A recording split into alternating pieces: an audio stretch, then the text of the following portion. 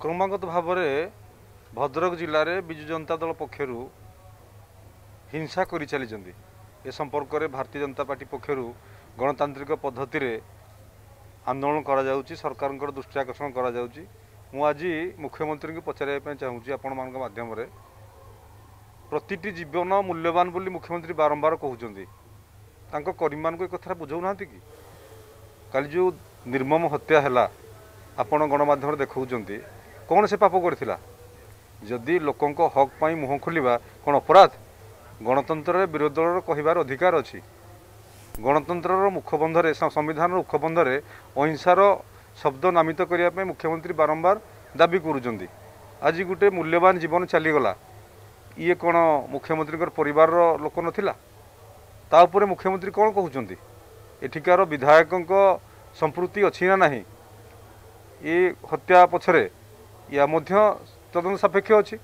ଆଜି ଆମ ଭାରତୀୟ ଜନତା ପାର୍ଟି ଆମର ଶୀର୍ଷ ନେତୃତ୍ୱଙ୍କ ସହିତ ଲମ୍ବା ସମୟ ଚର୍ଚ୍ଚା ଆଲୋଚନା ହେଇଛି। ଇଏ ଘଟଣା ଆଜି ଆରମ୍ଭ ହେଇନି। ଇଏ ବିଗତ ତିହିଡ଼ିରେ ପ୍ରଧାନମନ୍ତ୍ରୀ ଆବାସ ଯୋଜନା ନେଇକି ଯେଉଁଭଳି ଭାବରେ ଆନ୍ଦୋଳନ ହେଲା ଏବଂ ସେ ତାଙ୍କ ଘର ଭିତରେ ପୋଲିସ ପଶିକି ଯେଉଁଭଳି ଭାବରେ କାଣ୍ଡ ଘଟାଇଲେ ଏହାଦ୍ୱାରା ବିଜେଡ଼ିର କର୍ମୀମାନଙ୍କର ଉତ୍ସାହ ତିଆରି ହେଇଛି। ଏବଂ ତାର ପରିଣାମ ଧୀରେ ଧୀରେ ଉଗ୍ର ହେବାକୁ ଯାଉଛି ଏବଂ କାଲି ଗୋଟିଏ ମୂଲ୍ୟବାନ ଜୀବନ ଚାଲିଗଲା। ମୁଁ ମୁଖ୍ୟମନ୍ତ୍ରୀଙ୍କୁ ଅପିଲ କରିବି ଆପଣ ରାଜ୍ୟର ମୁଖିଆ ନିର୍ବାଚନ ଆସିବ ଯିବ ଅନେକ ନିର୍ବାଚନ ହେବ କିନ୍ତୁ ଯେଉଁ ହତ୍ୟାକାଣ୍ଡ ହୋଇଛି ଆପଣ ନିଜେ ହସ୍ତକ୍ଷେପ କରନ୍ତୁ। ଯେଉଁମାନେ ଆପଣଙ୍କ ଦଳର ତା ସହିତ ସମ୍ପୃକ୍ତି ଅଛନ୍ତି ତାଙ୍କ ଉପରେ ଦୃଢ଼ କାର୍ଯ୍ୟାନୁଷ୍ଠାନ ଗ୍ରହଣ କରିବେ।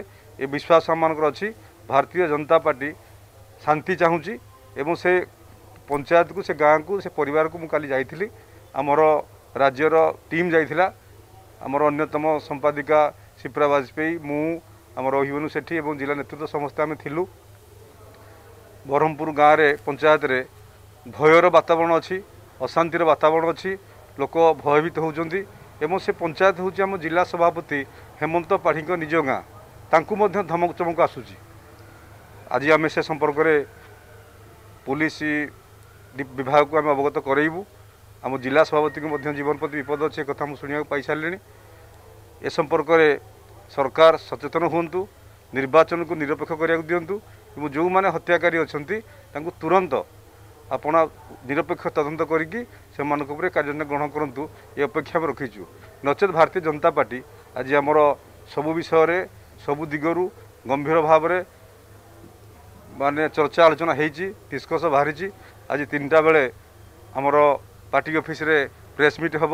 ଆମର ପର୍ଦ ପରବର୍ତ୍ତୀ କାର୍ଯ୍ୟ ଯୋଜନା ସମ୍ପର୍କରେ ଅବଗତ କରାଯିବ।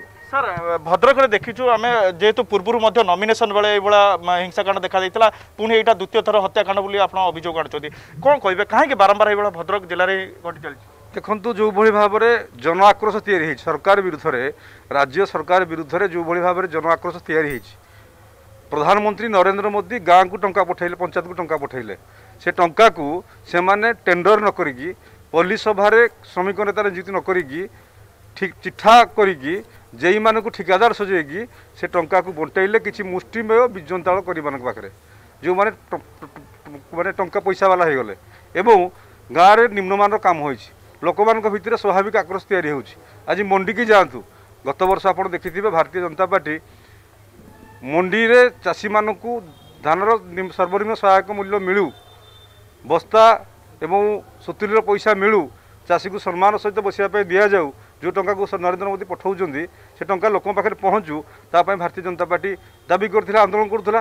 ଏ କଥା ଗୁଡ଼ାକ ବିଜୁ ଜନତା ଦଳ ସହନ କରିପାରୁନି। ପ୍ରଧାନମନ୍ତ୍ରୀ ଆବାସ ଯୋଜନା ଗରିବ ଲୋକ ପାଖରେ ନ ପହଞ୍ଚିକି ତାକୁ ବିଜୁ ଜନତା ଦଳ ଧନୀ ଲୋକଙ୍କ ପାଖରେ ବାଣ୍ଟି ଦିଆଗଲା।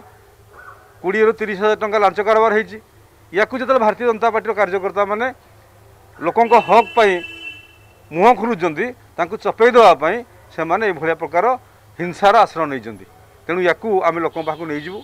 ଜନତାକୁ ଜନତା ଭଗବ ଜନତା ଜନାର୍ଦ୍ଦନ ଆଉ ଗଣତନ୍ତ୍ରରେ ଜନତା ହେଉଛନ୍ତି ମାଲିକ ତାଙ୍କ ପାଖକୁ ଆମେ ଯିବୁ।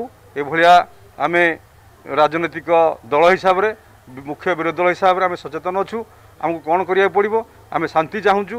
ହିଂସାକୁ ପ୍ରଶ୍ରୟ ଦିଆ ନଯାଉ ଏବଂ ତାକୁ ମୁଖ୍ୟମନ୍ତ୍ରୀ ନିଜେ ହସ୍ତକ୍ଷେପ କରିକି ତାଙ୍କ ଦଳୀୟ କର୍ମୀକୁ ସ- ବୁଝାନ୍ତୁ ଏବଂ ଯେଉଁମାନେ ଦୋଷୀ ତାଙ୍କୁ ଦଣ୍ଡ ଦିଅନ୍ତୁ। ନଚେତ୍ ଲୋକମାନଙ୍କର ଯେଉଁ ଆକ୍ରୋଶ ହେଉଛି ଆକ୍ରୋଶର ସାମ୍ନା କରିବା ପ୍ରସ୍ତୁତ ହୁଅନ୍ତୁ।